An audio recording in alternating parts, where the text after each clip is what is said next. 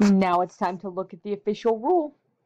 For zero exponents, if you didn't notice in the table that you created above, every single one of them, if you expanded and divided, actually came out to 1. So that is essentially the rule or the property that is happening here, is that any number, any number or variable raised to the zero power equals 1. Simple. If you see an exponent of 0, the answer is 1.